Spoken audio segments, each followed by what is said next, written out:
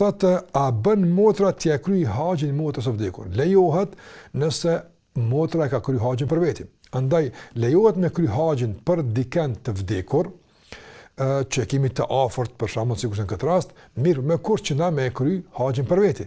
Ai që nuk ka bë haxh për veti, nuk ka mundësi me bë haxh për dikën tjetër. Nëse haxhin e ka për veti, lejohet pastaj me bë haxhin edhe për dikën tjetër që te ne quhet si bedel me shku për dikën tjetër.